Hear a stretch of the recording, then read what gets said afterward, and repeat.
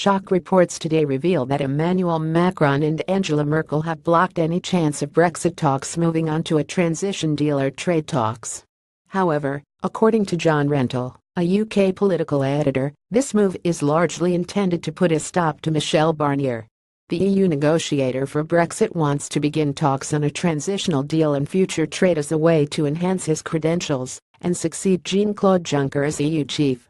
Jet Angela Merkel and Emmanuel Macron try to stop Michel Barnier from taking over from Juncker Jet Rentoul, revealed the infighting reason behind the Brexit bloc according to the reports, Germany and France are demanding divorce bill cash from Britain before talks on a two-year transition deal go ahead.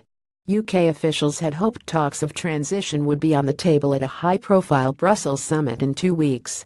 But, a German-led group of EU countries has urged for more clarity on the cash Britain will pledge to cover its financial commitments. Speaking to Sky News, Mr. Rentoul said I had assumed that Barnier does have a personal incentive to reach a deal. It would advance his ambitions to succeed Juncker as Commission President.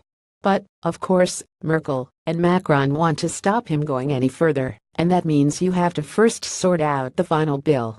It's very difficult how we get to a position where we get a deal at this point because there is very little time to agree on the terms of our relationship after we exit. Jet Barnier wants to enhance his credentials and succeed Jean-Claude Juncker as EU chief. Macron and Merkel have blocked any chance of Brexit talks moving on to transition deals. Merkel and Macron want to stop him going any further. John Rentoul Michel Barnier, the EU's chief negotiator, underlined the benefits of opening talks on a transition deal at a meeting this month.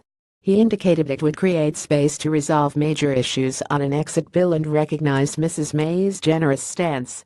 But Berlin and Paris rejected the standpoint according to diplomats.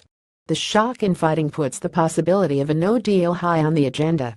Germany's biggest business lobby has warned members to prepare for a very hard Brexit following the stalemate.